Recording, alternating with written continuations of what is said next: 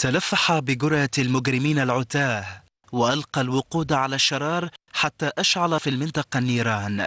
أردوغان الذي اعتزم بجرمه المؤثم إجراء مناورات عسكرية مشتركة لمدة خمسة أيام مع شمال قبرص غير المعترف بها دوليا. في الوقت الذي يحتدم فيه الخلاف بين تركيا واليونان بشكل متزايد بشأن ثروات الغاز والنفط في شرق المتوسط منذ إرسال تركيا لسفينة استكشاف الشهر الماضي في المنطقة. مغامرة محفوفة بالمخاطر تخوضها أنقرة من أجل تأمين الحصول على قدم في هذه المنطقة الحيوية المليئة بأكثر من ثلاثة مليارات متر مكعب من الغاز. فضلا عن مليار وسبعمائة ألف برميل من النفط طبقا لكشف هيئة المسح الجيولوجية الأمريكية. حصول أنقرة على موارد في شرق المتوسط يعفيها من أعباء مالية كبيرة فتجاوزت فاتورة الطاقة الخاصة بالبلاد 40 مليار دولار. في الوقت الذي تتربع فيه تركيا على أكثر اقتصادات العالم بؤسا وفقا لتصنيف وكالة بلومبرج الأمريكية. وزير الخارجية اليوناني نيكوس داندنياس وصف تصرف أردوغان بالأحمق وسلوكه بغير الشرعية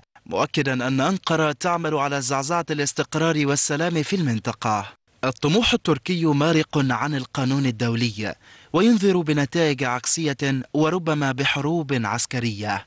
في الوقت الذي تفكر فيه عدد من العواصم الأوروبية في فرض عقوبات على أنقرة.